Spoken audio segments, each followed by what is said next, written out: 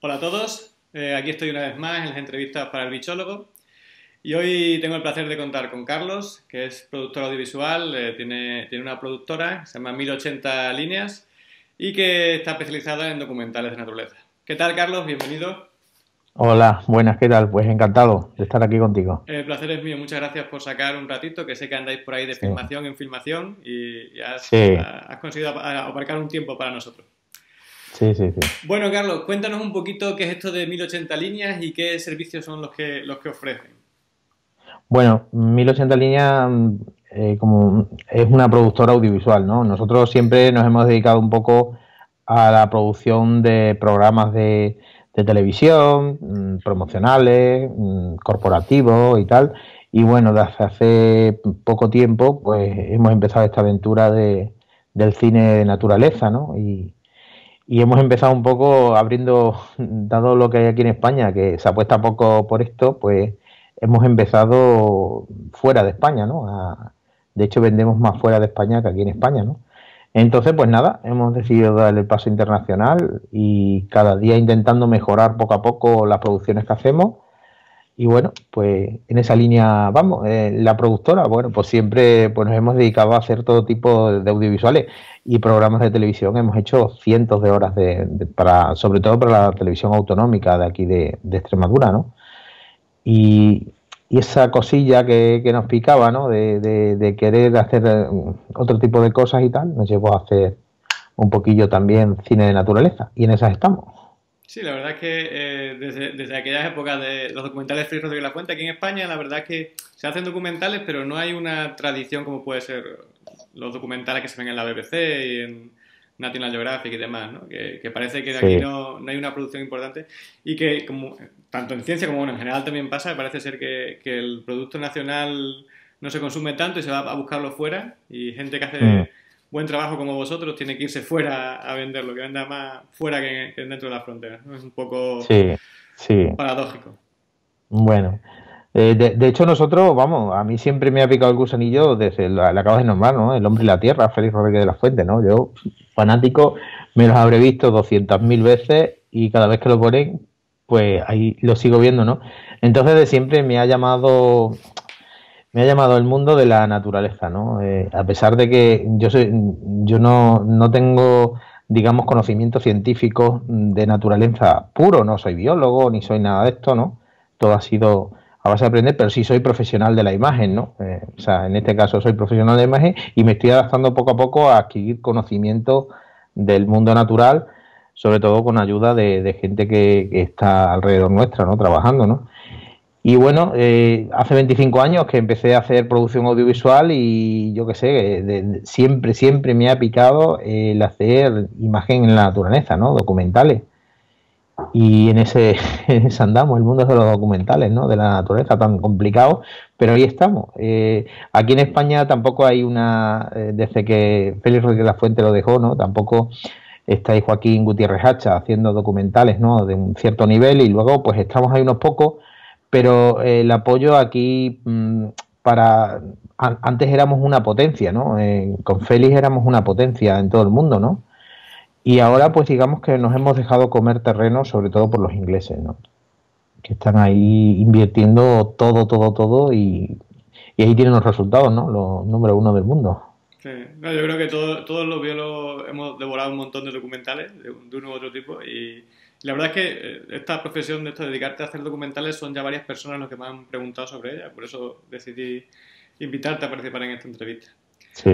cuéntanos un poquito cómo y por qué decidiste tú meterte en este mundillo de los documentales, ¿no? Nos has dicho siempre que siempre te ha gustado, pero, pero es un campo así un poco difícil, además un poco distinto a cómo es filmar otro tipo de, documentales, otro tipo de trabajo de vídeo. ¿Qué es lo que te lleva a ti a decir, bueno, me voy a meter aquí, aquí a buscar bichitos y andar por ahí de sitio en sitio?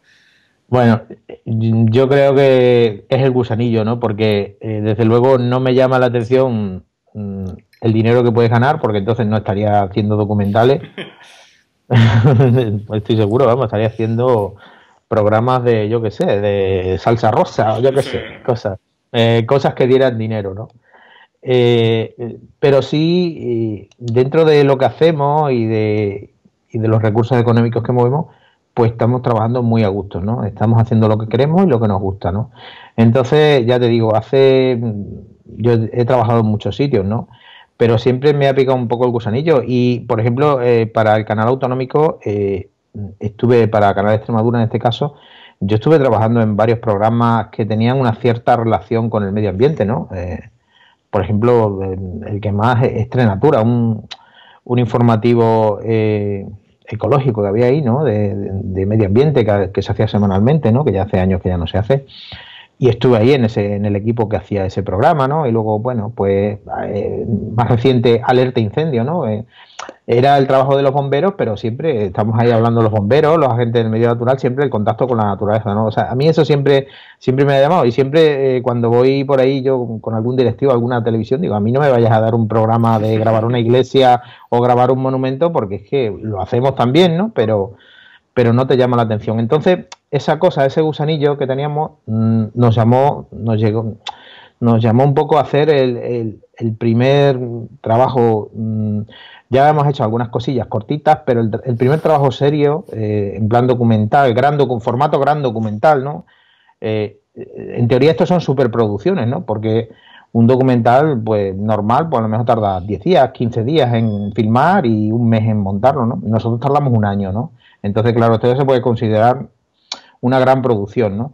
Y de hecho, el primer documental que hicimos, que era Primavera, el regreso de la vida, fue un experimento, ¿no? Para mí, dije, voy a probar, a ver, a ver qué, qué sale.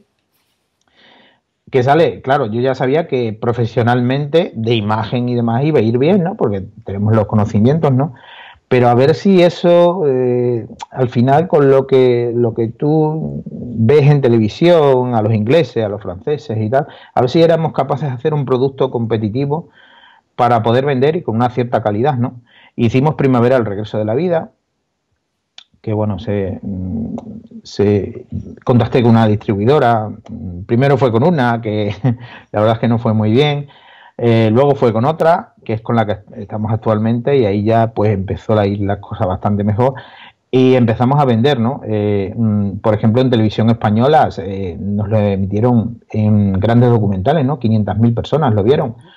Y oye, fue una emoción, ¿no? Ver tu primer documental ahí en la televisión nacional, ¿no? Pero es que, claro, es que no solo lo vendimos en la televisión nacional, es que lo vendimos a Arte, Francia, ¿no? Detrás de BBC, en el mundo, el Canal Arte eh, tiene un prestigio internacional y es súper complicado venderlo un documental porque de hecho solo le hemos vendido uno. Estamos ahora a ver si somos capaces de venderle eh, el último que hemos hecho, pero que tienen unos requisitos. Eh, primero les tienes que entrar un poco la idea del documental, si les gusta o no. Y, bueno, pues con Primavera lo conseguimos, ¿no? A la italiana, en Francia, en Italia, en Portugal, en España, yo que sé, un montón de. en Irán, no sé, un montón de países y televisiones compraron Primavera y dije, oye, pues al final no nos sale tan mal, ¿no? El documental. Y bueno, eh, el, primer experimento también pues eh, nos dio alas para corregir fallos, ¿no? Fallos que, sobre todo de producción, ¿no? A la hora de hacerlo y a, la hora de, ver eh, con qué gente había que hacer un equipo, qué equipos, qué equipos técnicos habría que contar, ¿no? Porque recuerdo que Primavera lo hicimos con una cámara reflex, una Canon 7D, sí, en Primavera está hecho una Canon 7D. Y bueno, luego colaboraron algunos, eh, colaboró también gente y también en grabación con, con cámaras reflex, ¿no? Eh, pero todo fue cámara reflex, ¿no? Y claro, eh, fue un poco un experimento, ¿no? Y, ya te digo, a, raíz de ahí, pues nos costó, ¿no? Hasta que pudimos sacar adelante el segundo documental, ¿no? Y, es complicado, ¿no? Es complicado lanzarte a esto porque mm, Primavera lo hicimos con un presupuesto de cero euros, fíjate, cero euros. Soy unos valientes, ¿eh? Sí, sí. no, lo que pasa es que ya te digo que la productora, eh, por aquellos entonces, no solo vivía de, hacer documental de naturaleza, ¿no? Entonces lo que sí hicimos era los recursos que, teníamos de otros trabajos, pues los dedicamos a hacer el documental. Y bueno, pues yo creo que se nos sale bien y con los beneficios que, que tuvimos, pues decidimos hacer un segundo documental, ya con medios nuevos que compramos y demás. Y bueno, pues un poco seguir la línea que es la que estamos haciendo ahora. Es muy interesante, la verdad es que eh, es un trabajo eso de, poder vender a, canales tan potentes como Arte, ¿no? Eh, tiene que ser un, orgullo, además siendo tu primer trabajo así serio en esto del, medio ambiente y bueno, de la naturaleza. Impresionante. Claro, eh, por ejemplo, la emisión de arte yo la, la pude seguir desde aquí España y oye, eh, es un orgullo, ¿no? De, que tú hagas aquí una cosita tan pequeñita, ¿no? Aquí, aquí con cuatro, con cuatro añadidos, ¿no? Que haces tú aquí con cuatro aparatitos que tienes y de pronto lo, lo están viendo millones de espectadores a través de arte en todo el mundo, porque arte emite en toda Europa, en África, bueno, nos pasaron el listado de los países donde había llegado y era una barbaridad, ¿no? Entonces, pues, y la verdad es que la venta arte supuso para nosotros un gran refuerzo económico. Son los que, detrás de BBC, son los que más pagan en, en Europa, ¿no? Entonces, pues, eh, de, ya te digo, te, nos animó muchísimo a seguir. O sea, las ventas animan muchísimo, pero claro, cuando son encima en canales tan grandes, ¿no? Pues la verdad es que te da un orgullo muy, muy grande, ¿no? Qué, qué bonita historia, ¿eh? Bueno, desde tú supongo que desde siempre has sido, bueno, siempre has trabajado en el, como nos has contado, en el ámbito audiovisual y supongo que desde, bueno, desde pequeño estarías interesado por el tema, ¿no? ¿Qué es lo que te llevó a, profesionalizarte, hasta, crear una, auténtica productora, ya digamos, seria, ¿no? como en 1080 líneas? ¿Qué etapas hay, que superar en esto de, intentar crear una productora? Somos un poco el proceso, porque supongo que mucha gente se pregunta, oye, ¿cómo puedo llegar a trabajar yo en esto de documentales? ¿no? Bueno, pues es que, es que es un mundo, es un mundo un poco complicado. Mm, y también depende a, dónde quieras llegar, ¿no? Porque si lo que tú quieres es hacer un documental para que se proyecte en tu pueblo, en el pueblo al lado, o, que lo compre tu televisión autonómica, o... entonces tú te tienes que marcar un poco a dónde quieres llegar, ¿no? Con lo que, con lo que estás haciendo. Tú puedes hacer un pequeño producto e intentar participar en festivales, ¿no? A ver si consigues algo entonces, etapas, pues etapas muy complicadas, ¿no? De, ya te digo, de mm, nulo apoyo, el apoyo es cero, ¿no? Porque, por ejemplo, si aquí, eh, yo qué sé, tuviéramos el apoyo de una televisión, como por ejemplo en Francia, que te apoyan con 200 o 300 mil euros, ¿no? Por hacer un documental, pues, pues todo, todo sería diferente. Lo mismo también habría 200 mil personas haciendo documental, ¿no? Pero bueno, tampoco no sé, no sé la verdad, eh, eh, es muy complicado, ¿no? Es un mundo complicado. Eh, ten en cuenta que nosotros también llevamos desde el 2014, ¿no? Desde que hicimos aquel experimento y poco a poco vamos alternando los trabajos de naturaleza con otro tipo de trabajo, pero el objetivo de la productora es que solo estemos centrados en naturaleza, ¿no? Y algo de turismo, ¿no? Algún tipo de documental, pero siempre relacionado con la naturaleza y el medio ambiente, ¿no? Entonces, pues es un mundo complicado en el que, mm, sobre todo, las metas te, te las marcas tú, ¿no? A dónde quieres llegar, ¿no?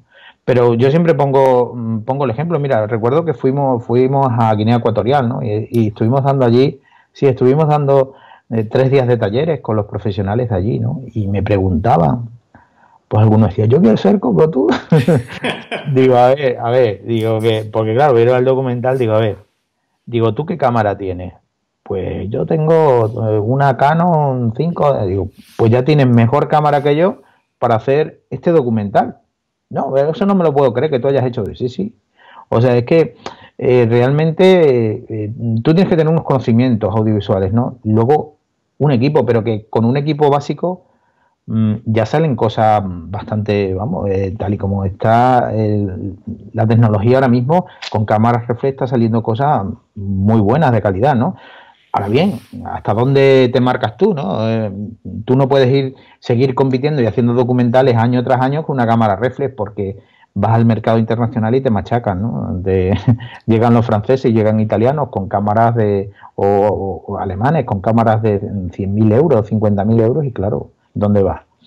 Entonces, bueno, pues eh, lo que sí quiero decir es que, el, que, el, camino está ahí y hay que cogerlo. O sea, el que tenga una cámara y que tenga esa cosa de querer hacer naturaleza, hacer documentales, pues que se ponga a hacerlo, ¿no? está ahí, es complicado y es de mucha, mucho trabajo y, bueno, pues, pues ya te digo, eh, todo se resume en eso, ¿no? En, en ser muy constante en el trabajo, ¿no? Y, ir ampliando eh, conocimientos, recursos tecnológicos, equipo, en fin, eso es un poco el trabajo que estamos haciendo. O sea, que lo mejor es empezar a andar directamente, ¿no? Un poco con los materiales que tengas, que hoy en día cualquier cámara medianamente buena, una reflex medianamente buena, ya tiene vídeo HD y Sí, sí. Y, con un poco, bueno, y conocer un poco también el medio, ¿no? El, lenguaje audiovisual que es muy importante, no vale solo con saber de biología, sino tienes que saber contar la historia. Y sí, pero mira, por ejemplo, yo hablo con, muchos amiguetes que, te, que esto de Facebook y demás, pues hace un montón de amigos, ¿no? Y bueno, pues tengo amigos que se dedican en plan aficionado a hacer pequeñas piezas y tal, bueno, a, a veces lo que es de naturaleza seguramente saben más que yo. Mm. O sea que, que lo que no tienen a lo mejor es los medios y, y ni los conocimientos audiovisuales que pueda tener yo, ¿no? Pero, pero te quiero decir, hay mucha gente haciendo cosas muy chulas, ¿no? Eh, eh, en internet, ¿no? Y yo siempre les animo, digo, joder, qué, desperdicio que, grabes un poco y lo pongas en internet sin más, darle una forma, darle una música, una locución, darle un, contenido, ah, ¿qué tal? Es que... Entonces, bueno, pues eh, esa es la cosa que, que bueno, que también son gente que no se dedica profesionalmente a esto, ¿no? Como nos dedicamos nosotros y que tenemos otro... Muchos de ellos me dicen, oye, vamos, vamos a salir el fin de semana a grabar. Digo, ¿no? yo los fines de semana descanso. Oh, es que yo no puedo, claro. Es que yo trabajo de lunes a viernes, ¿sabes? Entonces, los fines de semana, y claro, esa es la diferencia entre hacerlo profesional, hacerlo amateur, ¿no? El, el tiempo que le puedes dedicar a, a esto, ¿no? Que, que, es muchísimo. Mm, si vas a hacer un documental de naturaleza, y vas a filmar animales, pues ahí ya las horas se te van, ¿no?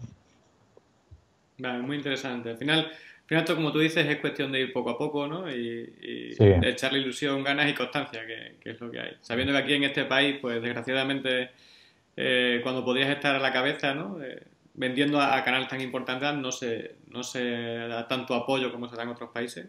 Pero bueno, aquí ya sabemos cómo funcionan un poco las cosas en España, lamentablemente.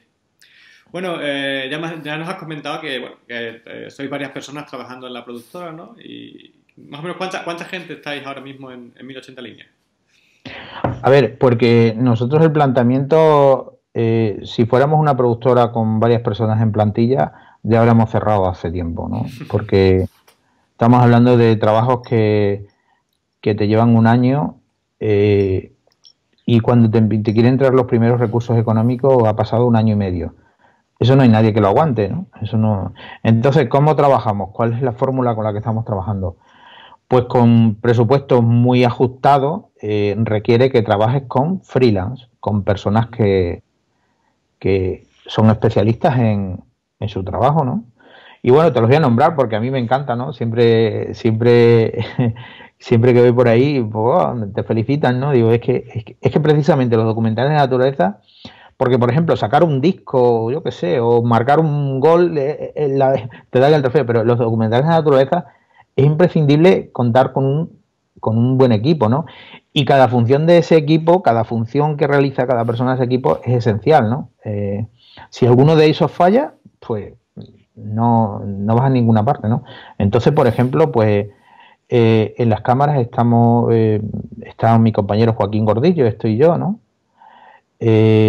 Y luego, pues, el guionista Javier Ortega. Mm, eh, Javier Ortega fue guionista de Al filo de lo imposible. Eh, entonces, bueno, pues mm, lleva, tiene ya una trayectoria de muchos años, ¿no? Eh, yo llevo con él trabajando bastantes años y haciendo otro tipo de documental y digamos que los dos, aunque él ya había hecho algo, digamos que los dos ya nos metimos a hacer este tipo de documental que hacemos nosotros, ¿no? Miguel Ángel Grajera es el músico que compone la banda sonora, ¿no? Que la verdad es que para nosotros ha sido todo un descubrimiento. Y por ejemplo, ayer, ayer estuve, estuve chequeando el documental de ESA, ¿no? que, lo vamos a entregar ahora a una televisión internacional, y estuve chequeando la banda sonora y, hablé con él, digo, a ver qué vas a hacer ahora en el próximo, que has puesto el listón muy alto. La banda sonora de ESA es una auténtica maravilla, es una gozada. O sea, yo, yo no sé cómo, cómo le ha podido salir eso, ¿no? Eh, me parece ya eh, que no, no, ese es el límite, ¿no? Que no podía hacer más. Luego contamos con, en la locución, pues yo siempre he querido contar con, para mí es el número uno, desde luego, ¿no? Eh, José María del Río, ¿no?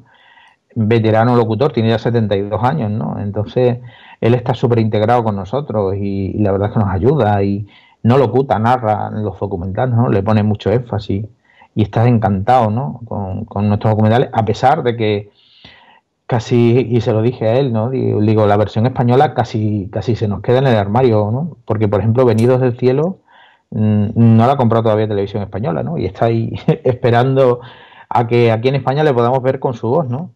Eh, y luego tenemos eh, la figura de biólogos, ¿no? Eh, tenemos mm, dos biólogos que colaboran con nosotros. Uno es Fernando Ballestero, ¿no? Que también está en la Fundación Osopardo, allí en el norte y, y, ahora últimamente se, está, se ha incorporado eh, César del Arco, ¿no? que es especialista en botánica y está por aquí, por el norte de Extremadura, también echándonos un cable y una mano en el tema de, sobre todo, de flora, ¿no? que es un auténtico especialista. Un equipo variado y, Bueno, luego, aparte de, este es el equipo que trabaja y luego tenemos infinidad de colaboradores, pero además colaboradores pata negra, ¿eh? colaboradores de estos que nos, nos ayudan Mm, desinteresadamente y, bueno, yo que sé, son un montón, ¿no? Tampoco te voy a nombrar, pero la verdad es que es que tenemos un montón de colaboradores y muy buenos colaboradores de varios años, ¿eh?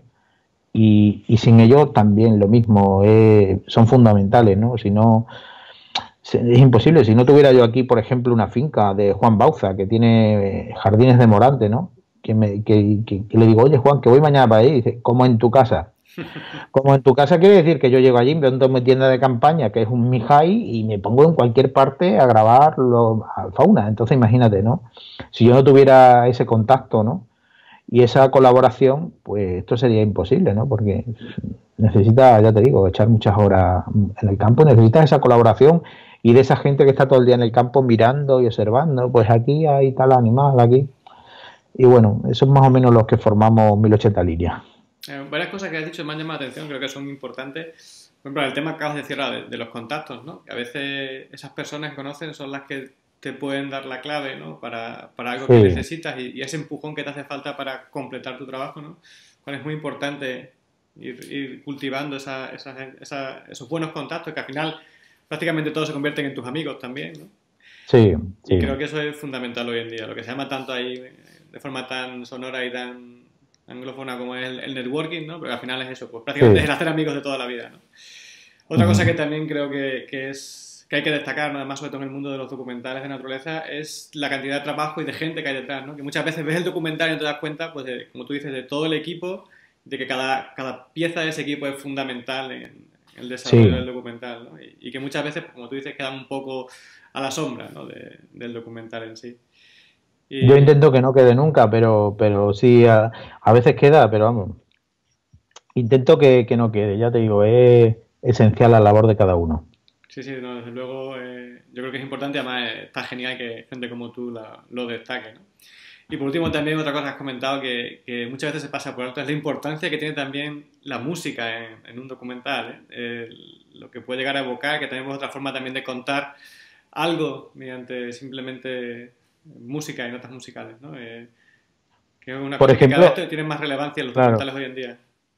Claro, yo, por ejemplo, si tú haces un documental muy bueno de imagen, muy, muy, muy bueno, o sea, que sea estupendo, y le pones una música mala y te has cargado el documental, ¿no? Pero, o sea, te la has cargado. Sin embargo, si le pones una música muy buena, lo realza muchísimo. Al contrario también pasa, pero yo creo que un poquito, bueno, un poquito menos creo yo. O sea, si es una música impresionante, casi con cualquier imagen le vale, ¿no? O sea, la función de la banda sonora es esencial y es una es un acompañamiento, o sea, no, no, no rellena nada, es el acompañamiento que necesita para que el producto sea redondo.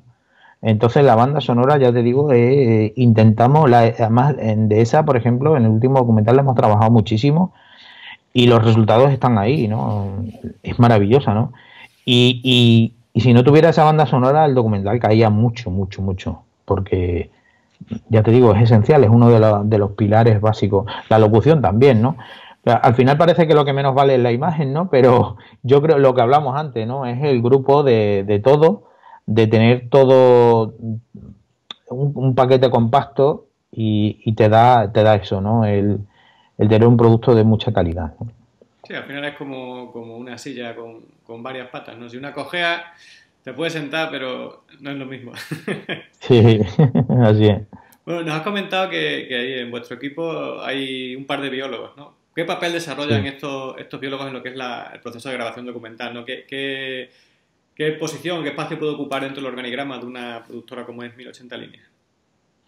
Bueno, pues por ejemplo en Primavera, eh, el primer documental que hicimos, eh, que no contábamos con asesoramiento científico, ¿no? Pues, pues claro, esa, esa pata que estamos hablando cojeaba un poco porque sí, quedó bien, pero al final te estás apoyando eh, gente que conoce y tal, pero no tiene la sabiduría esa y el recurso científico, ¿no? Que, que te puede dar, porque claro, conforme vas subiendo y saliendo fuera de España, ya te piden que tenga bastante. Eh, eh, que tenga. A ver si me sale la palabra, o sea, que, que contenga mucho. Eh, que lo que tú digas sea rigor científico, sí, esa era la palabra.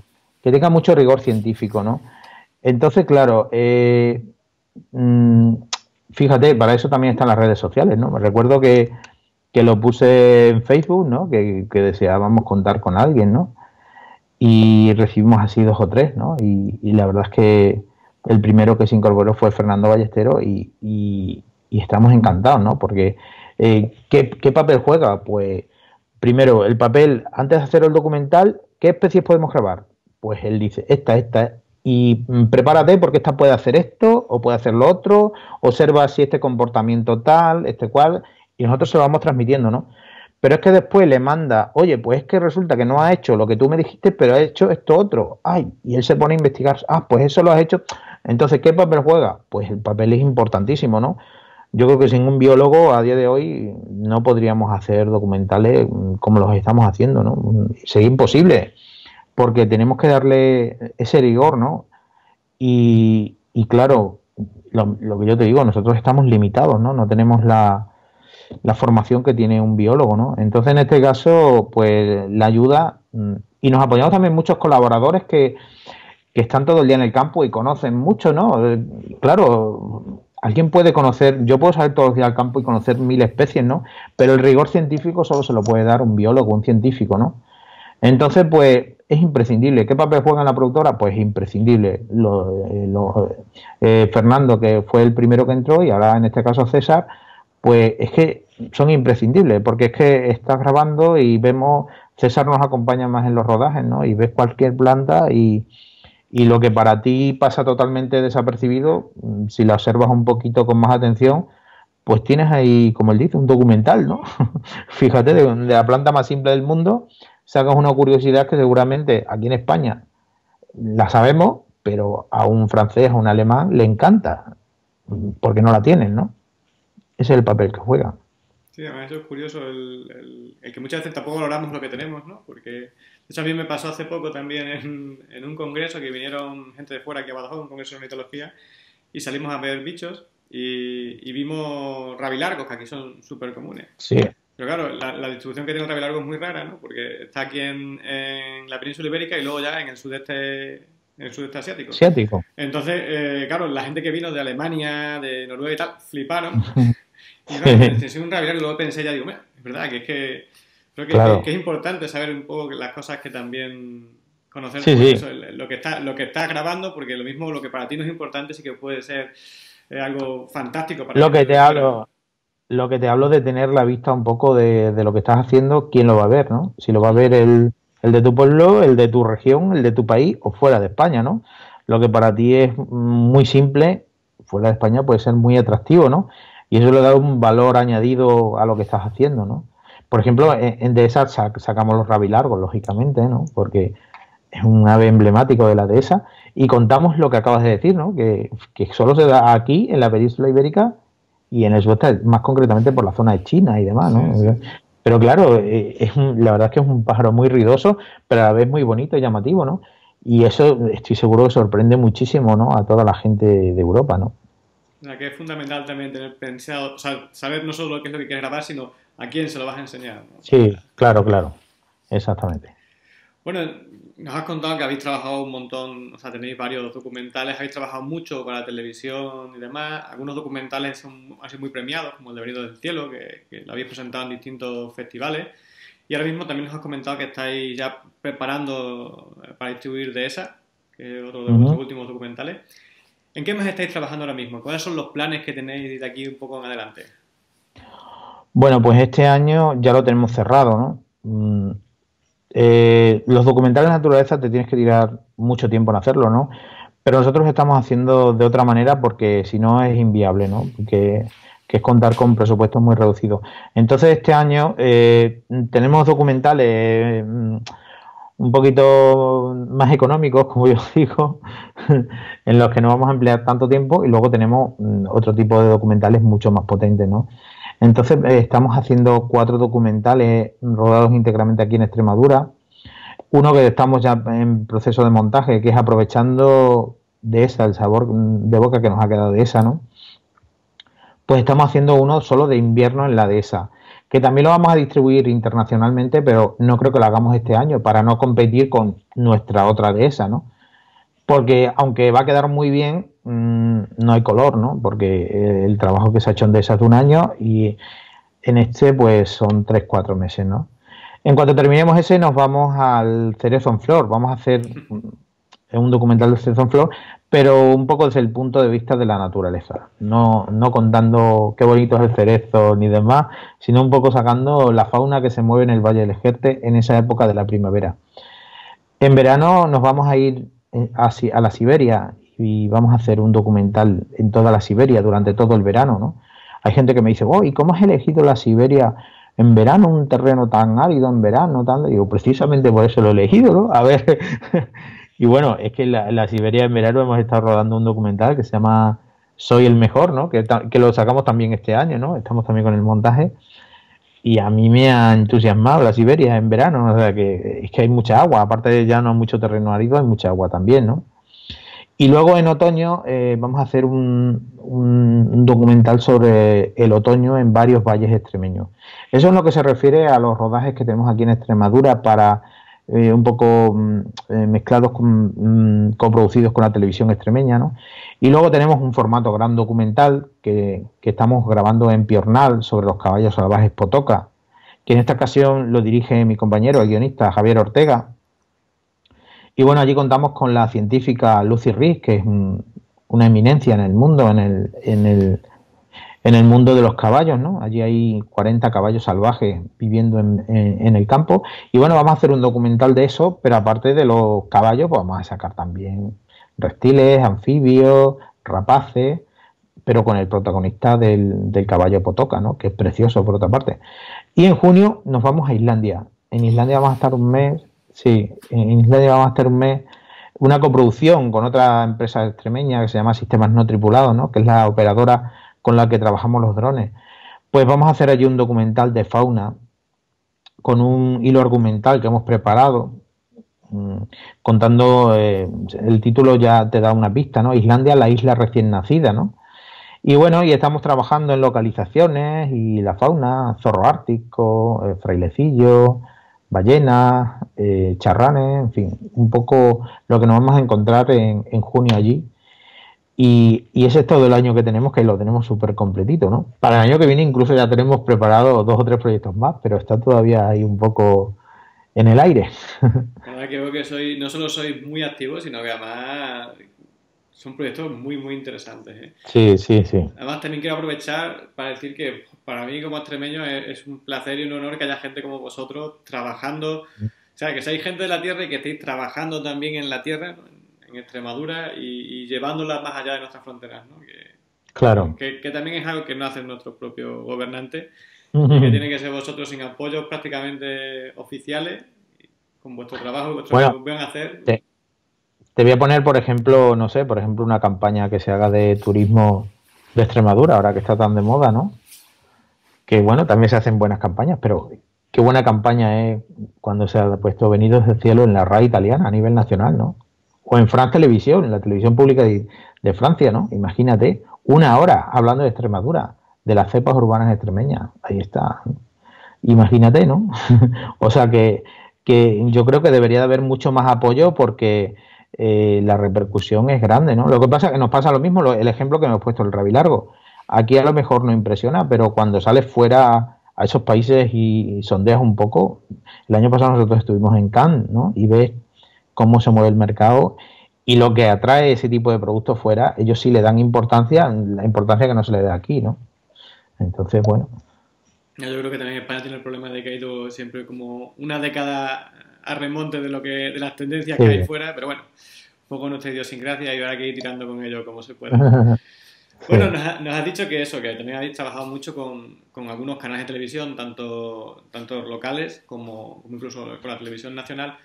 ¿Cómo conseguisteis establecer esa relación con, con, las cadenas, ¿no? de, crear vuestros documentales a, ser capaz de, de venderlos, proyectarlos en, en, cadenas de televisión? Bueno, eh, eh, ¿cómo se consigue? Pues mm, si tú pretendes hacer un documental y, lo intenta vender por tú solo, un documental, una película o similar, pues es complicado, ¿no? Porque lo primero, mm, en nuestro caso, ¿no? Mm, hablamos español y en mi caso inglés limitadito, ¿sabes? Pero claro, mm, eso si hablas con un inglés, pero si hablas con un francés y si hablas con un italiano y si hablas con un alemán, imposible. Entonces, eh, pues desde el principio yo lo tenía muy claro que habría que buscar una distribuidora, ¿no? Eh, nuestra distribuidora está en Alemania, porque ¿por qué no en España? Bueno, mm, ¿por qué no en España? Pues porque en ese momento eh, una persona de mucha confianza mía se fue a Alemania, montó allí la distribuidora y, y la relación entre una distribuidora y una productora de que hacer documentales o películas tiene que ser de una, de una complicidad y, tienes que tener, vamos, eh, date cuenta que le das tu producto, ¿no? Tiene que ser de una confianza plena, ¿no? Entonces, ya te digo, eh, la distribuidora es la que, la que nos mueve todo eh, en Europa. iniciamos con ellos el contacto con Primavera y bueno, pues son exigentes, ¿no? Mm, o sea, no, no quiere decir que todo lo que haga ya no lo van a, no lo van a llevar, porque ellos ya mm, derrochan un esfuerzo, por ejemplo, en asistir a ferias o en contactar con gente, en perder, digamos, el tiempo para vender un producto que a lo mejor no se puede vender, ¿no? Pero ellos son exigentes, pero nosotros somos más exigentes. Nosotros ya nos hemos puesto un nivel en cada trabajo que hacemos para que él no tenga dudas de que lo que le vamos a entregar es muy bueno y que lo puede vender. Entonces, pues de momento todo lo que, lo que estamos produciendo nos lo está distribuyendo él, ¿no? La distribuidora esta que te, hablo se llama Tres Media, que está en Alemania y va a todas las ferias del mundo. O sea, mm, si, si lo estuviera distribuyendo yo, a lo mejor hacia alguna venta, pero yo no tengo posibilidad de ir eh, a, todas las ferias del mundo, como va él, ¿no? Que, que, que, lo mismo va, están en Europa, que están en África, o en Asia, en América, yo qué sé, se mueven por... Eh, estamos, o sea, nuestro documental está en todas las ferias. Eso quiere decir que, está en el puesto para que llegue eh, un, comprador y me lo compre. Yo eso no lo puedo hacer si por mi, por mi cuenta, ¿no? Luego hay distribuidoras que venden más, que venden menos, las habrá mejores o peores, ¿no? Nosotros estamos súper contentos con, con la que tenemos ahora y bueno, pues es una pieza fundamental, ¿no? Cuando haces un documental tienes que tener una distribuidora. Y llegar a eso, pues es complicado, como, como todo, ¿no? Es ponerte tus metas y saber qué, qué, es lo que pide el mercado, que por eso nosotros vamos también a algunas ferias, ¿no? Para saber qué es lo que está pidiendo el mercado. No hacer un documental desde aquí, que puede ser muy bonito, pero a lo mejor en Europa no le interesa a nadie, ¿no? Entonces, pues bueno, tomamos buena cuenta de eso y nos movemos bastante bien, vemos muchísimo documental, vemos lo que se mueve, yo en mi casa tengo satélite y veo lo que están dando casi todas las televisiones europeas que hacen documentales, ¿no? Veo lo que se ve, lo que se compran. La RAI la veo casi a diario, ¿no? Tiene un canal nada más que de documentales. Entonces, pues por ahí, pues vas tomando cosas de lo que tú crees que, se puede vender y listo, y ya está. Eh, lo que para nosotros ahora ya parece un poco sencillo, eh, ha tenido mucha complicación. Yo recuerdo cuando saqué Primavera tardé dos años en hacer la primera venta, ¿no? Estaba ya desesperado. Digo, yo ya no hago ningún documental más, ¿no? eso es lo que te puede tirar un poquito para atrás, ¿no? Yo tengo algunos compañeros incluso que hacen documentales y no han vendido todavía nada, ¿no? Pero bueno, si no has vendido nada, a lo mejor te has fallado tú, ¿no? No, no sé, puede ser.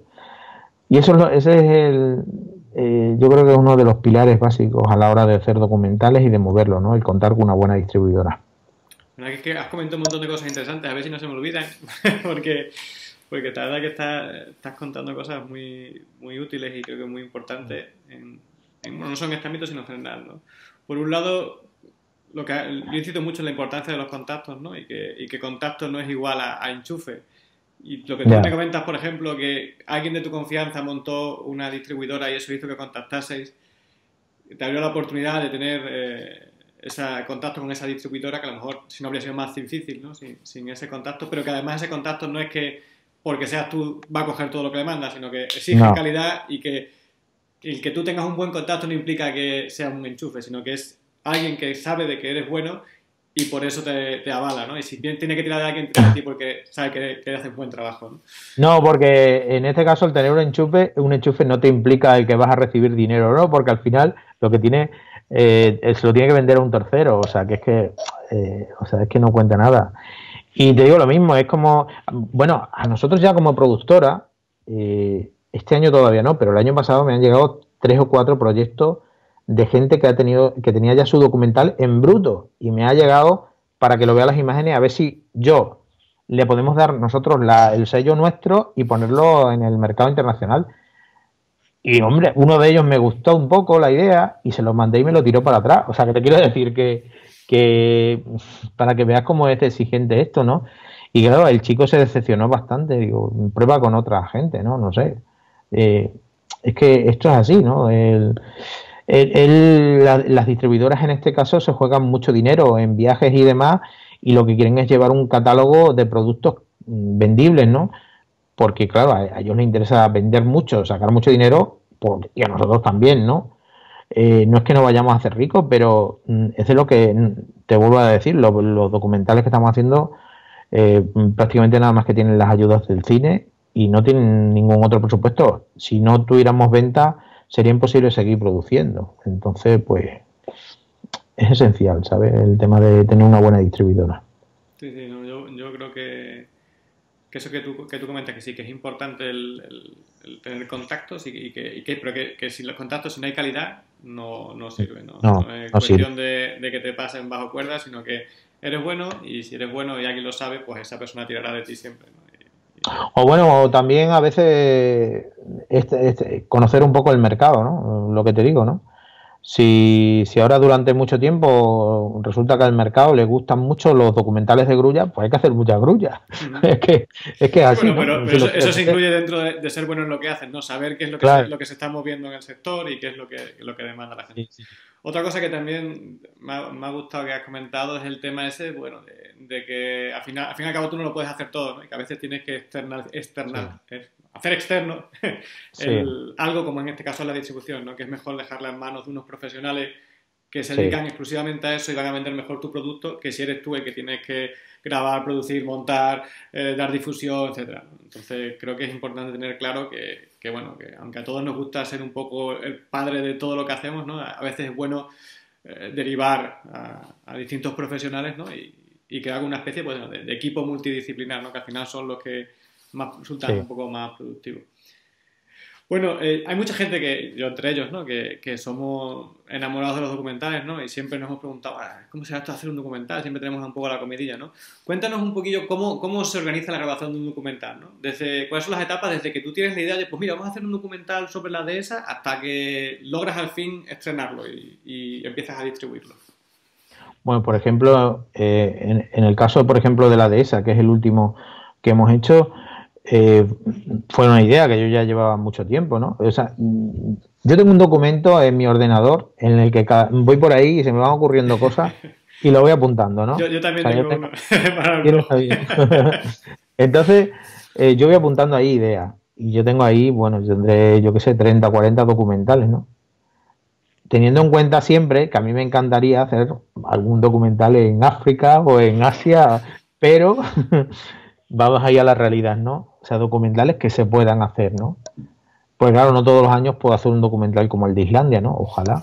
Eh, entonces, documentales que se puedan, que sean eh, factibles de que podamos hacer. Eh, eso se limita, limita mucho España y más concretamente Península, ¿no? ahora mismo, con los presupuestos que tenemos, no nos podemos marcar otra cosa. Entonces, pues, bueno, pues de esa lista que yo tengo ahí, que esa lista sale de mis ideas y de las ideas que aporta la gente que trabaja conmigo, el guionista o compañero o, por ejemplo, el biólogo también, ¿no? En la última reunión que hemos tenido han salido tres, tres proyectos documentales nuevos, ¿no?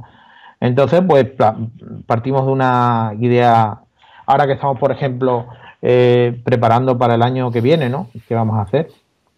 Pues partimos de una idea inicial y nos empezamos a reunir, empezamos a comentar, esto se puede hacer, no se puede hacer. Y una vez que hemos dado ya ese paso entre nosotros, que, que lo podemos hacer, pues se lo comento al distribuidor, mira, quiero hacer esto documental, ¿tú crees que esto se puede vender, tal? Y él te dice, pues sí, pues no, pero hazlo así. Porque, por ejemplo, el año pasado yo fui a Cannes con dos proyectos que me lo tiraron. Me lo tiraron. Esto no los hagas, porque no los voy a vender directamente. Y yo estaba súper ilusionado con esos dos proyectos. Entonces, pues, una vez que, la distribuidora ya te dice que puede ser que se venda, pues ya empezamos a reunirnos, a hacer una especie de preguión, ¿no? Con lo que queremos grabar. Porque claro, eh, por ejemplo, queremos grabar el lince. Otra cosa es que lo graben luego, ¿no? Pero nos hacemos la lista con lo que queremos grabar. Un listado, ¿no? Pues hay que grabar esto, un listado de secuencias, pa, pa, pa, tal. Y una vez que se ha hecho esa lista, pues ya el siguiente paso es comenzar a grabar. Acorde con ese listado, teniendo en cuenta y abriendo mucho el abanico de que los documentales de la naturaleza mm, tiene una alta dosis de, suerte, ¿no? De, a ver qué se te cruza por ahí, ¿no? Por ejemplo, en el caso de Dehesa, pues hay dos cosas que, claro, no estaban planificadas, ¿no? Por ejemplo, el baño del águila calzada en una charca de ganado grande. Pues yo creo, de hecho, que no se ha, que no se ha visto nunca, ¿no? Ya me lo han dicho dos o tres. Claro, eso, eso no se puede preparar. Eso fue que es mm, bueno, había que estar ahí, ¿no? Durante 10 días de seguimiento del águila calzada, pues al final lo pillamos, ¿no? Otro, eh, grabando toro, encontramos una culebra de cogulla que había cazado una lagartija, ¿no? Pues claro, lo mismo, pues metes la secuencia de cómo se la come, ¿no? Entonces, pues ya te digo, todo el proceso ese de grabación iba cerrando, teniendo en cuenta que eh, no estás haciendo un documental con un catálogo de bichos, porque claro, al final eso tienes que hacer una película, una película consecuencia que esté todo enlazado entre sí. Al menos las nuestras son así. Yo no puedo hacer un documental en el que diga, esto es un ciervo, y esto es un oso, y esto es un lince. Pues no. Yo tengo que hacer un documental en el que salga comportamiento animal, ¿no? Mm, siempre lo que podamos hacer, ¿no?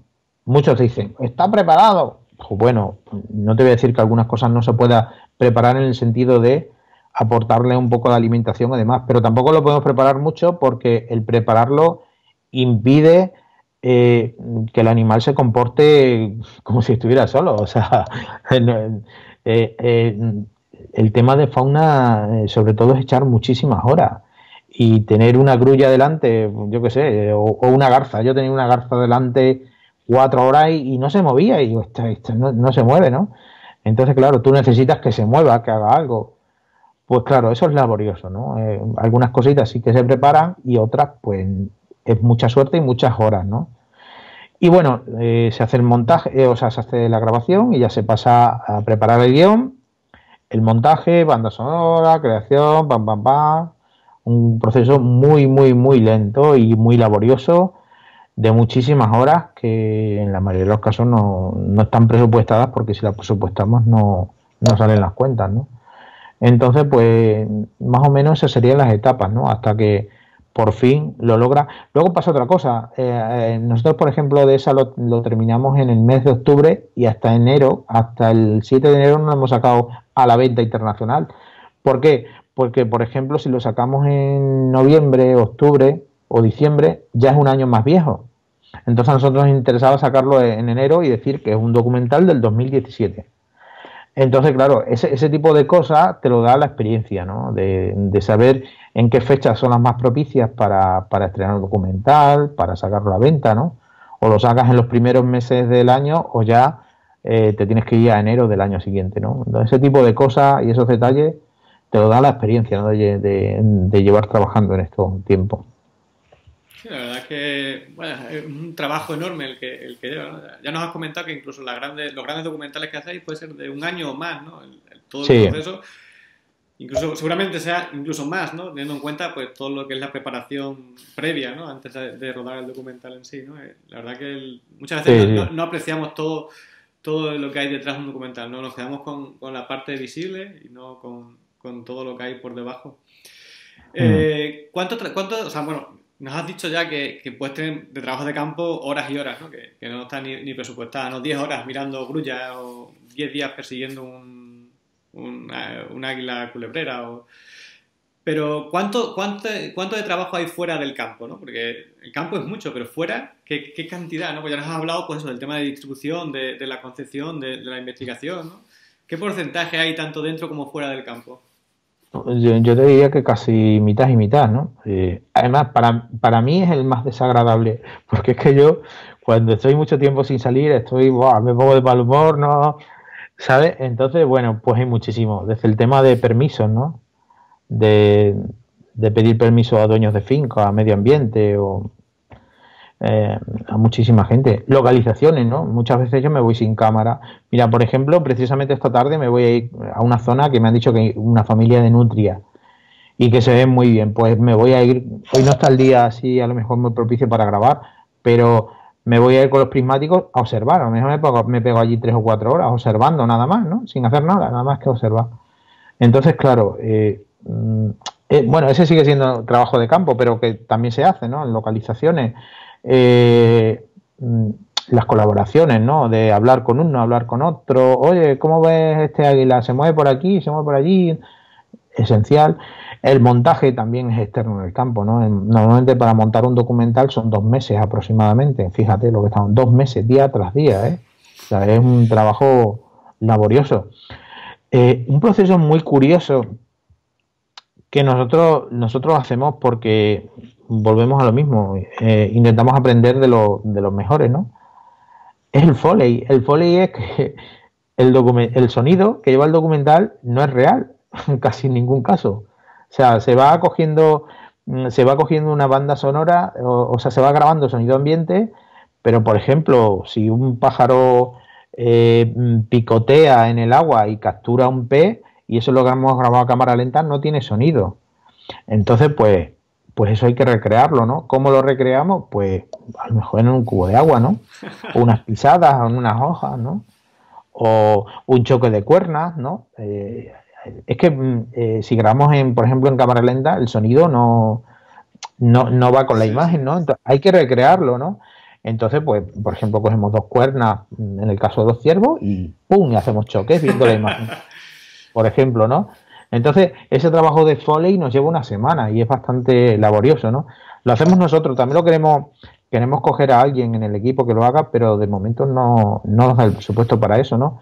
pero el día que lo hagamos pues le daremos mucha más calidad, ¿no? Porque nosotros como todo está limitado, ¿no? Lo que el hacerlo nosotros nosotros mismos, ¿no? La banda sonora, no te puedes imaginar el trabajo que lleva hacer una banda sonora, ¿no?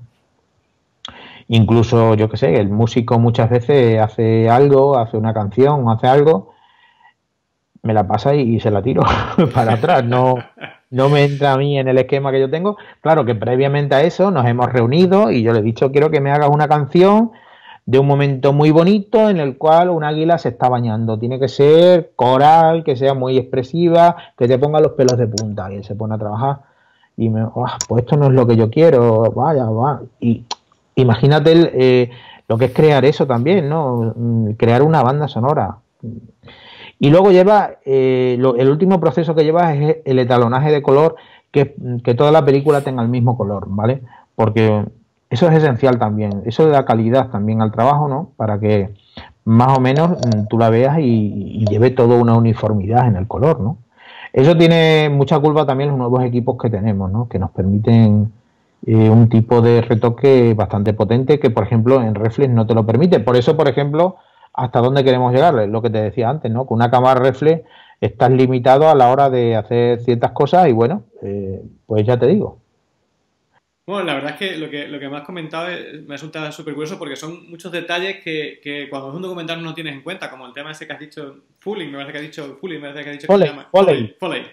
Foley, Eh, sí, ya. que es lo de recrear esos sonidos que, que no siempre puedes captar, ¿no? Por ejemplo, cuando, cuando grabas a cámara lenta. No es algo que te hayas planteado nunca y que tengas que que hacer después. O el tema de, que también es muy importante, el de, el de la gama de color, ¿no? El que todo el color sea similar, ya que, vamos, yo no, yo no trabajo con vídeo porque no, no tengo ni idea, pero más allá de las entrevistas estas, Sí. pero, pero por ejemplo sí que cuando hago fotografía, que me gusta mucho, aunque sea solo aficionado pero sí que, sí que un pequeño cambio en la luz ya te cambia la gama de color de toda Sí. la fotografía. ¿no? El, el balance de blancos y demás te- mm, puede cambiar la fotografía totalmente.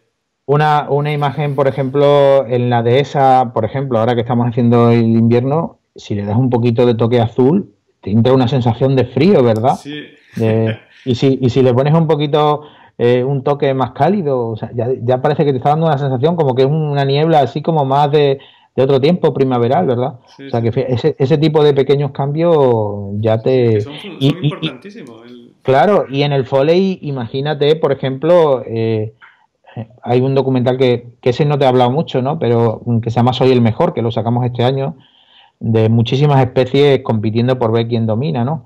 Eh, pues hay una pelea de, de escarabajos peloteros, ¿no? Y se pegan y tal. Claro, imagínate, eh, eh, y lo habrás visto en muchos documentales, que se están y suena ¡pum! Eso no, eso no es real, ¿no? ¿Sabes lo que te digo? O sea, Sí, sí, sí. muchas cosas se simulan, pero el, el, el sonido que tú le pones a ti te entra y dices, te impresiona, ¿no? Y no es real ese sonido, ¿no? O muchas veces estás grabando un ciervo muy lejos y suena y parece que lo tienes cerca, ¿no? Eh, entonces, pues lo mismo, ¿no? Ese tipo son efectos que se hacen luego a posteriori, ¿no? Aunque nosotros también llevamos mucha grabación de sonido eh, real, ¿no? Eh, pero eh, ya te digo que para hacerlo bien hay que doblarlo luego, igual que se dobla una película, no puedes ir con el sonido real, porque eh, es imposible, no, no lo sacas con calidad, ¿vale?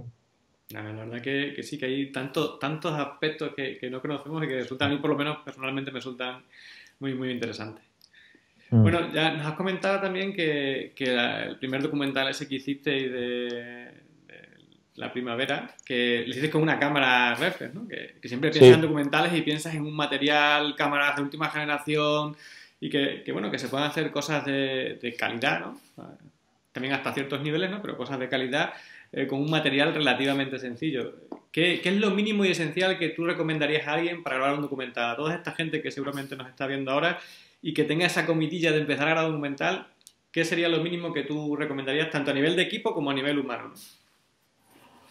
Bueno, mm, claro, es que depende de donde, de- el- el- al final donde quieras ir, pero bueno, Sí. equipo, equipo mínimo tiene que ser una cámara, en este caso puede servir una reflex, ¿no? Eh, si llevas una reflex necesitas algo para el sonido, ¿no? Una grabadora externa y un buen micrófono para captar lo que estamos hablando o doblarlo luego con los bancos de sonido que hay por ahí, ¿no? Que también hay algunos. Y un buen trípode, un buen teleobjetivo, ¿no? Y esencial, ¿no? Tener un buen teleobjetivo. Nosotros ya, últimamente el teleobjetivo mm, intentamos usarlo cada vez menos y en de que sacar al animal tan lejos es acercarnos nosotros al animal, ¿no? Porque cuanto más cerca te cuanto más te acerques, más calidad le das al, al- a, a la filmación, ¿no? Eh, pero sí es esencial un teleobjetivo, ¿no? Porque muchas veces no te puedes meter tan cerca por la propia especie, ¿no? Que, que te puede recelar o algo, ¿no? Eh, y bueno, luego eh, un trípode que sea muy bueno, ¿no? Que tenga una buena estabilidad. Una imagen que se mueva, eh, eso da muy mal aspecto, ¿no? Eh, y luego ya si lo quieres adornar, pues hay una serie de aparatitos, ¿no? Por ejemplo, eh, un slider, ¿no? Que es un traveling que te va haciendo una grúa, un dron, ¿no? Ahora que están tan de moda, ¿no? Sí, la verdad que se usan drones para todo. Claro, claro. Entonces, bueno, eh, un poco ese sería, digamos, el tipo de equipo que así esencial. Y luego el equipo que tenemos nosotros, bueno, pues lo que te decía, ¿no? Poco a poco hemos ido invirtiendo y ahora tenemos una super cámara, un 35 milímetros que graba en 4K y hace alta velocidad, ¿no? Eh, tenemos drones que los compartimos con la empresa esta que te he dicho de sistemas no tripulados que la verdad es que los drones les dan un punto de vista muy espectacular, ¿no? Eh, mm, además creo que las imágenes que hacemos de drones con los drones son diferentes a lo que a lo que se ve por ahí, ¿eh? Sí que le damos un toque un toque diferente, ¿no? Eh, estamos trabajando ahora también con cámaras a distancia, pues mm, tenemos una, una cámara acuática, ¿no? Para hacer algunos planos y controlar a distancia o meter eh, cámaras robotizadas también en, lugares así un poco camuflados, ¿no? Eh, slider, nosotros el slider manual, aunque tenemos también, utilizamos uno motorizado, ¿no? Que va, te va a dar, te va dando mucha calidad también, ¿no? En los movimientos. Estabilizadores también tenemos, ¿no? Estabilizador que llevas la cámara eh, y para hacer movimientos típicos que hace, por ejemplo, la BBC, ¿no? Esto es hacia contraluz con las hojas el sol arriba. Mm, todo ese equipo lo hemos ido adquiriendo poco a poco, ¿no? Grabadoras, teleobjetivos y tal, pero bueno, ya te he dicho que con, lo que te he dicho anteriormente ya se puede hacer un documental porque yo lo he hecho, ¿no? O sea, no es... Y probar y poco a poco ir ampliando, ¿no? Mm. No, la verdad es que parece mentira que con, materiales tan, tan relativamente asequibles, ¿no? O sea, tan fácil... Eh, solo hace falta una buena dosis de creatividad y de, saber hacer. ¿no? pues solo, eso es material tampoco. Puedes tener la mejor cámara del mundo, así que si no sabes lo que estás haciendo, no vas a tener ningún resultado. Otra cosa que también se pregunta mucho la gente es de dónde se sale la, financiación para grabar un documental. Ya nos has dicho que estás trabajando con, con, presupuestos muy, muy, muy ajustados, pero ¿de dónde sale ese dinero? Has comentado algo también de, las subvenciones del cine y demás. Cuéntanos un poquito. Bueno, a ver, a ver eh, lo suyo sería que las televisiones, en este caso que, que programan documentales, en el caso de Televisión Española, es que tú le presentarás un proyecto siempre y cuando, pues claro, si le presentamos 10, 10 productoras proyectos, pues que elijan algunos, ¿no? Y que entren a coproducir contigo, ¿no? En el que te aporten una, una cantidad del presupuesto. Eso sería lo suyo. Lo que pasa es que aquí en España no está pasando, ¿no? Menos con uno o dos. Aquí en España ya se han acostumbrado a que yo te lo pongo, pero tú tienes que venir ya con el presupuesto. Y claro, eso no. O sea, yo, por ejemplo, en mi caso, eh, mm, llamas a muchas puertas y aquí, aquí nadie, nadie apuesta por esto, ¿no? Entonces, conclusión, a nosotros ya nos dado un poco igual. Eh, todos los años nos presentamos a la ayuda del cine, en este caso de nuestra región. Mm, próximamente nos vamos a presentar a las españolas. En las ayudas del cine compites, ¿no? En calidad, en trayectoria y demás, y eligen, un, un comité que eligen los cuatro o cinco mejores proyectos. Llevamos dos años mm, que nos están ayudando la Consejería de, Cultura de la Junta de Extremadura. Este año hemos vuelto a presentar un nuevo proyecto y bueno, tenemos esperanza en que nos ayuden, ¿no? Eh, con e, esa ayuda, que por otro lado eh, no te la dan hasta que no termina, ¿vale? Eh, o sea que, por eso te digo que hay que contar un poco con, con fondo, ¿no? Eh, esa ayuda nos sirve pues para seguir produciendo, no para, para, para digamos, eh, eh, cubrir una parte del presupuesto. ¿Cómo, ¿Cómo, recuperamos la otra parte? En las ventas. O sea, ahora bien, mm, ya intentamos que cada documental que vayamos a hacer, chequear mucho de que es interesante, de que se va a vender, y luego ahí damos el do de pecho para que se venda, porque claro, si hacemos un documental y es ruinoso, Mm, nos limita luego para seguir, ¿no? Entonces, bueno, pues nos hemos puesto esa meta de hacer un documental grande cada año, que fíjate este año, la que este año vamos a llevar, vamos a hacer tres documentales grandes y cuatro más pequeños, que es una barbaridad, ¿no? Estamos un poco saturados, pero bueno, eh, es la línea que llevamos de, de eso, y, y la verdad es que está complicado, el tema de la financiación está muy complicado. En nuestro caso, mm, todo se financia con fondo propio o de alguna empresa mm, coproductora contigo, pero mm, no hay, no hay, aparte de las ayudas del cine, no hay ningún tipo de ayuda o, o por ejemplo, bueno, en el caso de la serie que estamos haciendo de cuatro capítulos, eh, entra a coproducir la, la, televisión extremeña, ¿no? Bueno, ahí sí, ahí eh, cubres una parte, lo que te hablaba antes, ¿no? Por ejemplo, Canal de Extremadura parece que ahora quiere apostar, ¿no? Por este tipo de, productos. Y el resto, pues mm, digamos que nos hace falta que Televisión Española se implique un poco más, ¿no? Y apoye, porque Cantábrico está muy bien, la, en el caso de que es el, gran documental que se estrena este año, ¿no? y es normal que lo apoyen porque es nuestro buque insignia, ¿no? Aquí en España, igual que apoyaron Guadalquivir, pero hay otra serie de producciones eh, que hacemos varias productoras cada año que con muy poquito nos ayudan también, ¿no? Entonces, pues bueno, eh, así está un poco el tema de la financiación, está complicado, pero mm, nosotros nos vamos autofinanciando. Eso es importante. El hecho de que, de que os sirvan ya las propias ventas y que esté funcionando, eso ya da una cierta estabilidad ¿no? a todo, a todo el negocio. No solo depender de financiación externa, que siempre es importante y siempre es una ayuda, ¿no? que se agradece, pero el hecho de que podáis estar ya poco a poco manteniendo con los propios ingresos de las ventas eh, es algo muy importante para cualquier negocio. Eh, bueno, nos has dicho también que vosotros trabajáis por medio de una distribuidora. ¿no? ¿Es así como siempre ponéis en circulación los documentales o qué labor también de difusión hacéis vosotros mismos aparte de lo que hace la distribuidora? Y si a los circuitos y festivales estos de documentales y de cine, ¿vais vosotros o vais siempre por medio de la distribuidora? No, la distribuidora solo se encarga de ventas a televisión.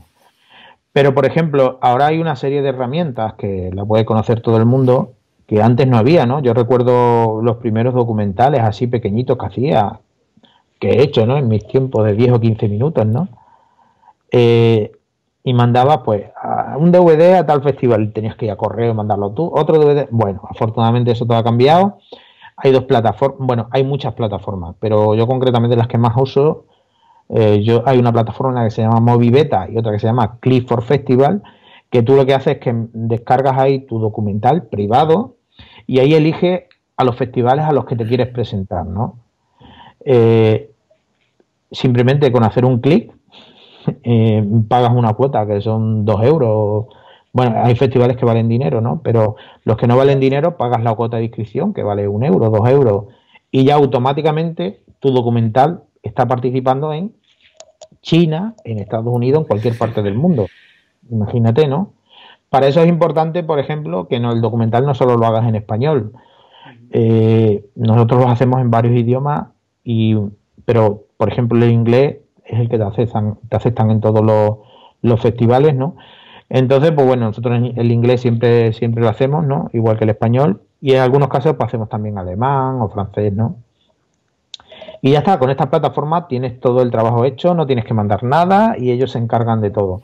Y luego, pues, hombre, ¿qué promoción hacemos nosotros? Muchísima, una barbaridad, creo yo, ¿eh? En redes sociales estamos constantemente eh, haciendo publicidad ¿Y mm, qué supone eso? Pues, por ejemplo, que programas como Aquí la Tierra, que lo ven, mm, yo sé, 3 o 4 millones de personas, pues de vez en cuando nos saquen, ¿no? Entonces, pues eso nos ayuda, nos ayuda a tener mucha visibilidad, ¿no? A la hora de las ayudas y a la hora de decir que estamos aquí, ¿no? Y quién sabe si más adelante algún directivo de alguna tele diga, oye, pues esta gente tal está entonces eso ayuda mucho. Y luego, pues ayuda mucho también la asistencia a ferias, ¿no? El año pasado estuvimos en Cannes, este año vamos a volver, ¿no?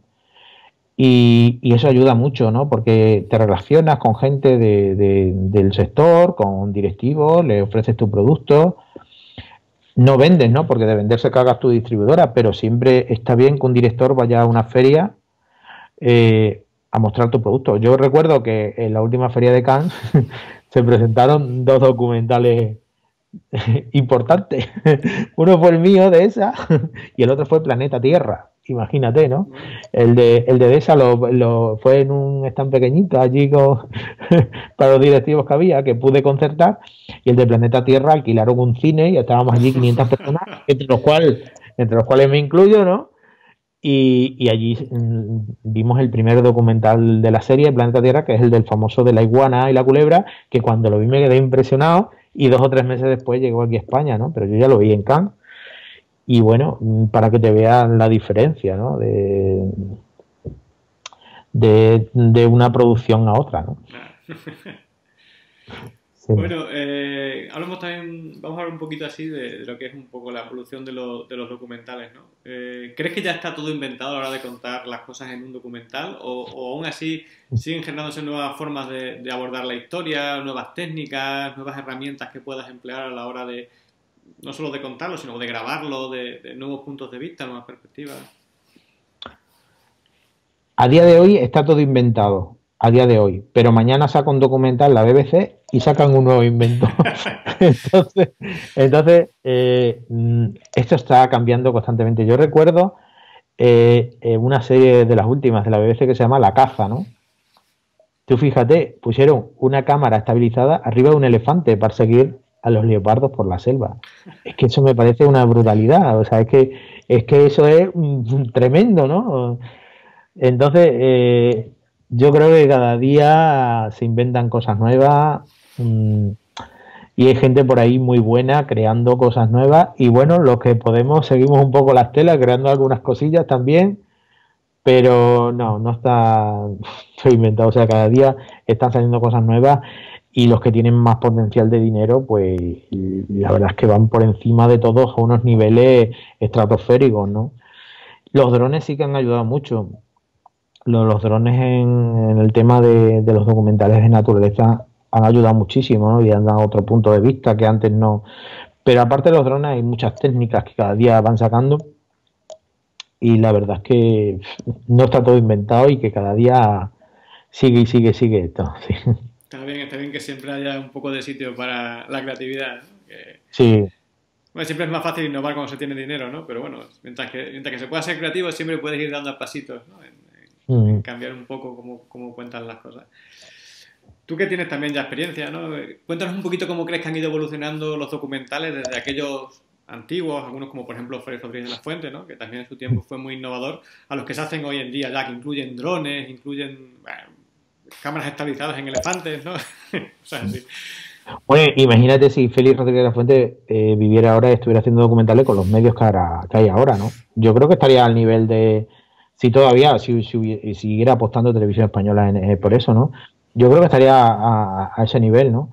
Entonces, bueno, eh, ha evolucionado sobre todo tecnológicamente, ¿no? Porque el tema de la fauna sí que, bueno, se van sacando comportamientos de especies que no se habían grabado nunca, ¿no? Constantemente y tal. Pero donde más ha avanzado es en el tema de tecnología y distribución. Por ponerte un ejemplo, eh, bueno, para nosotros, por ejemplo, ¿no? Para que veas la diferencia, ¿no? Entre lo que estamos hablando, ¿no? Lo que, lo que evoluciona una cosa y otra. Para nosotros es un éxito vender a 10 televisiones en un año, pero un éxito que yo creo que no lo consigue casi nadie aquí en España. ¿eh? Hablo de naturaleza, claro, no hablo de... O sea, yo creo que vender a 10 televisiones en un año, para nosotros, es un éxito tremendo, ¿no? Mm, no lo hemos conseguido nunca, ¿vale? Eh, o sea, un, año me parece que llegamos a 8, ¿no? Y este año con DESA puede ser que estemos ahí, ahí, ¿eh? Mm, entonces, pero por ejemplo, eh, Planeta Tierra eh, se vendió en dos meses a mil televisiones.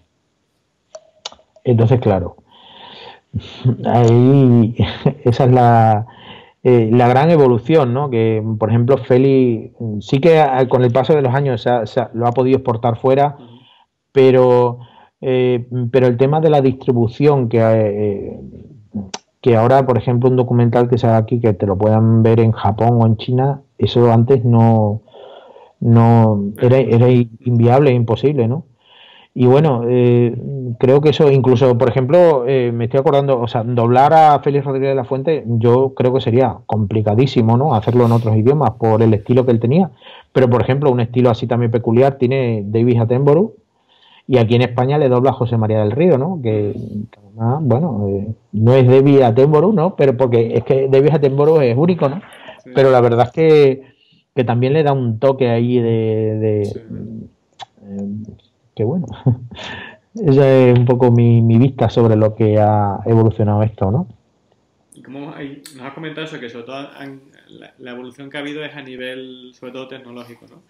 ¿qué crees que en los documentales que se hacen hoy en día cuánto hay de, artesanal ¿no?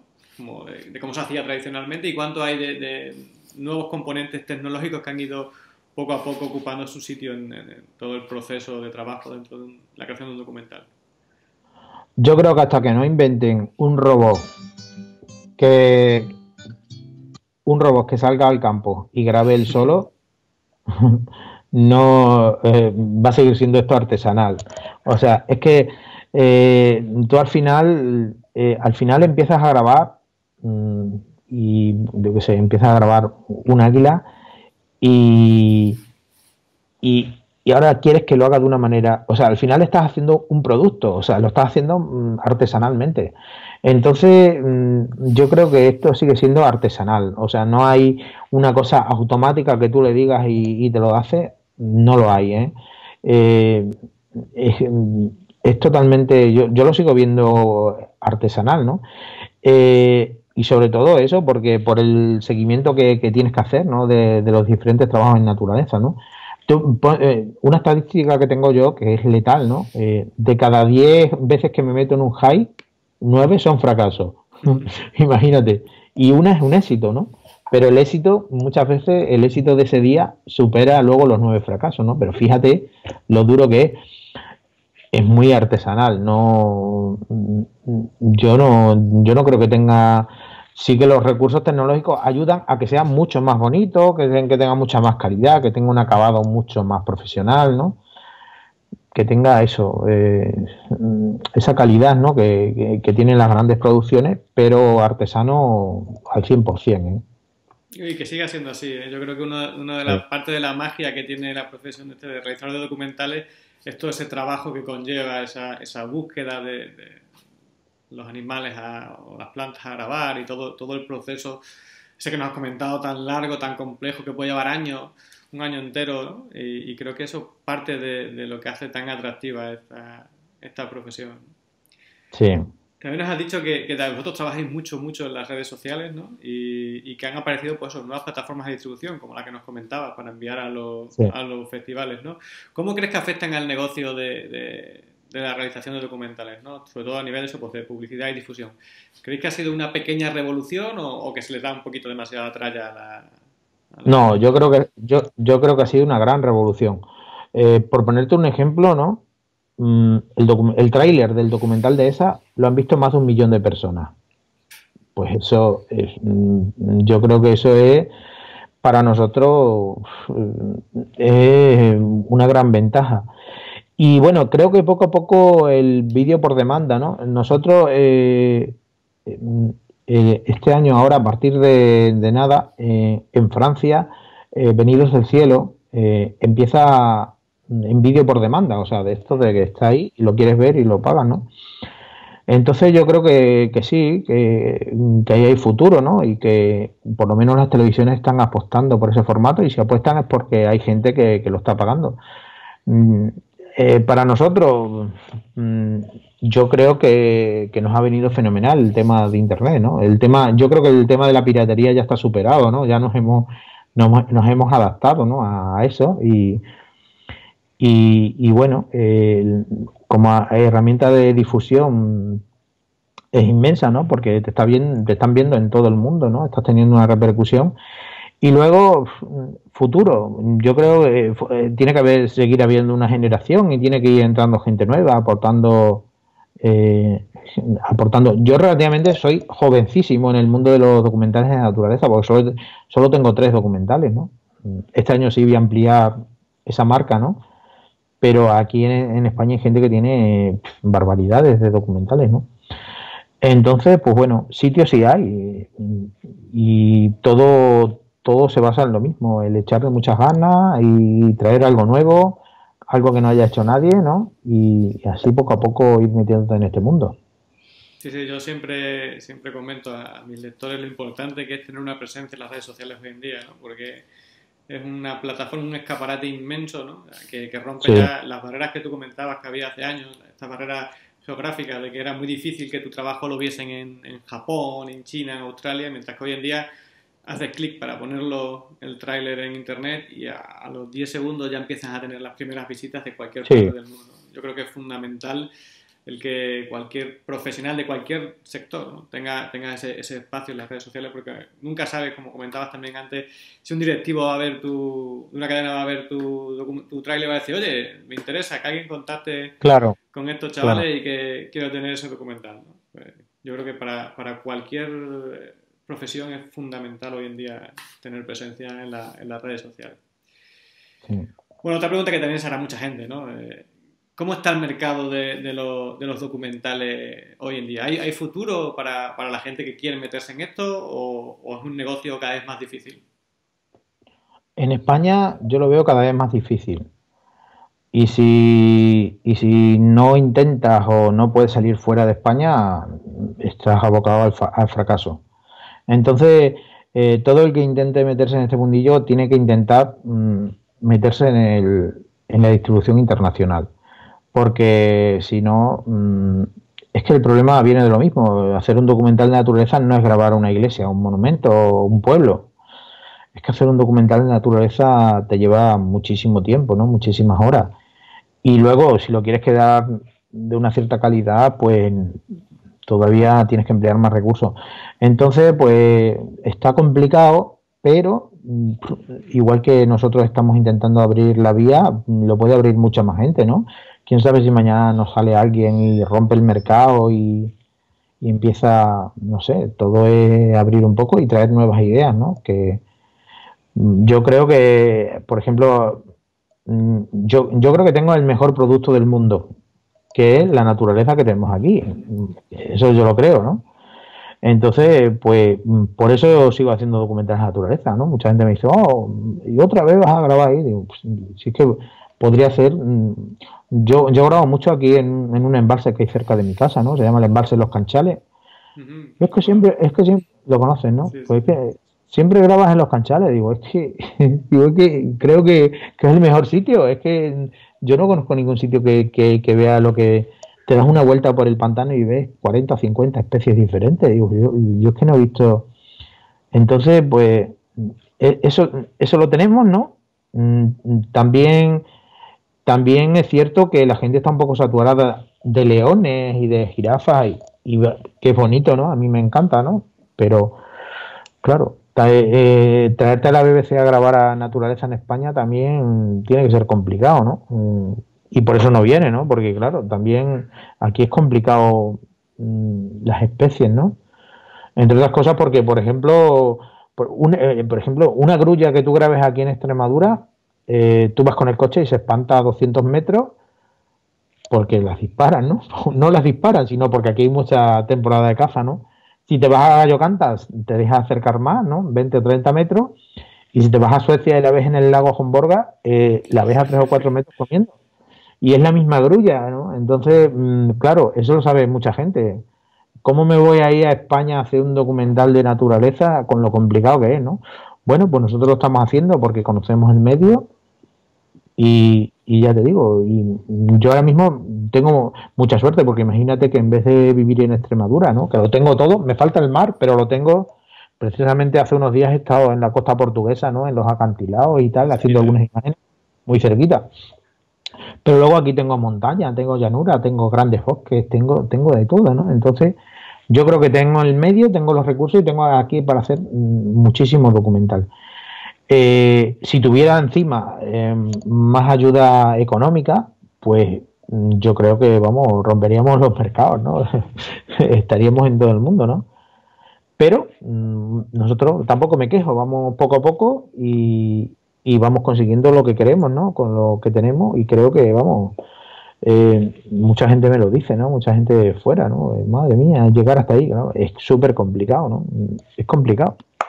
Pero si no das el paso, ahí está la cosa. No, yo creo que, la verdad es que sois un gran ejemplo. Primero porque es un sitio, Extremadura es un sitio que por nuestra peculiar idiosincrasia es difícil emprender aquí, ¿no? O sea, hay grandes emprendedores, eh, grandes empresas, grandes empresarios, pero no forma parte de, digamos, de nuestra forma de pensar. Aquí es más el trabajo seguro y unas oposiciones. Entonces, aquí ya, de por sí ya emprender hay que ser muy valiente aquí en, Extremadura, pero además que no solo emprendéis en Extremadura, sino que emprendéis por Extremadura, desde Extremadura y para llevarla al exterior. Y creo que lleváis, creo que has dicho desde el 2014, ¿no? O sea, que ayer prácticamente. Y, mm. y, aún así ya pues estáis internacionalizando, y vendido ya a Francia, otros grandes canales, ¿no? O sea, que creo que el vuestro es, es un ejemplo de que se puede poquito a poco, con, esfuerzo y con, buen hacer, yo creo que, sois un, el vivo ejemplo de que se puede hacer, ¿no? Que por el hecho de que todo el mundo diga que aquí es imposible, que es difícil, no. Es difícil, sí, no vamos a mentir, porque es complicado. Y, probablemente no, nos haremos ricos, pero, pero se puede, ¿no? Se, puede, se puede. Entonces creo que, es importante que haya, gente como vosotros que además sigáis trabajando por Extremadura y desde Extremadura, que eso es, eso es fundamental. Bueno, ya para terminar, la verdad es que a mí la entrevista se me ha pasado volando porque me ha resultado súper, súper interesante. Pero... ¿Me enrollo mucho? No, no, no, yo para, para, mí, vamos, yo me voy a quedar aquí eh, otra hora más hablando. Pero bueno, tampoco te quiero, te quiero quitar mucho tiempo, que además sé que luego ya has dicho que esta tarde tienes que irte a buscar esas nutrias. Bueno, yo quiero mostrar que dieses un consejo a toda esa gente que nos está viendo, que, que sé que son muchos los que están pensando, oye, ¿cómo haré yo? No sé si meterme en esto de documentales, Ay, no sé cómo empezar. ¿Qué les aconsejaría? Yo creo que, vamos, de la gente que se dedica a esto, y se lo digo a todos, digo, mm, eh, planteate hacer una pequeña película. Ya sé que hacer un documental de 50 minutos es muy complicado, ¿no? Pero planteate hacer una pequeña película. Tú tienes tiempo, tienes la cámara y tienes el medio, eh, haz una pequeña película que tenga un sentido y ponte a presentarla en festivales, que hay muchos festivales, aquí en España bastantes festivales también, así muy atractivos, ¿no? Y esos festivales yo creo que poco a poco te, empiezan a tocar la moral y al final lo mismo te lanzas a hacer algo, algún documental así de naturaleza grande, que aquí en, España la verdad es que muy poquito, ¿eh? Yo, vamos, eh, dos o tres puede ser al año, vamos, eh, eso es muy poco de, producir aquí en España documentales, ¿no? Y el mercado es exigente y el mercado come mucho documentales. Eh, hablamos del mercado mundial, ¿no? No, no solo del mercado español. Entonces, yo animaría a eso, a que esas pequeñas piezas de dos o tres minutos, convertirlas en, algo un poco que pueda competir en algún festival o ya, y que te pueda dar más satisfacciones, más que el propio internet, que qué bonito, qué tal, que bueno, que está bien también, ¿no? Eh, pero bueno, ya te digo, cada uno un poco hay gente que está contento con eso, ¿no? Y en mostrar lo que tiene. Al final, mm, Internet se ha convertido en una herramienta también de difusión, ¿no? Y hay gente que no puede llegar a, una televisión y puede, puede transmitir su, lo que a él le gusta en Internet, ¿no? Eh, a, mí, a mí también me encanta. Yo veo muchos vídeos en Internet de gente que, que, está grabando y bueno, a mí me encanta, ¿no? Y, y, muchas cosas las veo con cierta envidia, porque digo, eso no voy a ser yo capaz de grabarlo, porque eso son muchas, muchas horas, ¿no?